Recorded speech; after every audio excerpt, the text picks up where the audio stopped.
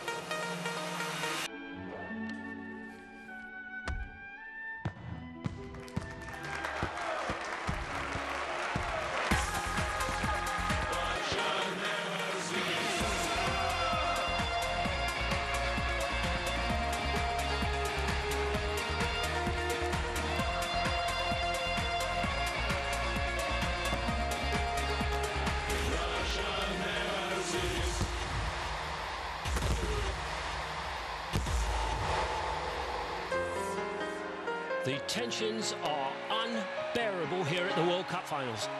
Russia and Italy tied one all, 10 seconds left to play, and Russia with a free kick.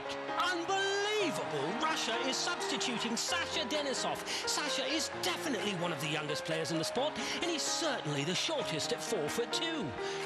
I, I don't believe it. It looks like Arshavin is going to let him take the kick. This is most unusual.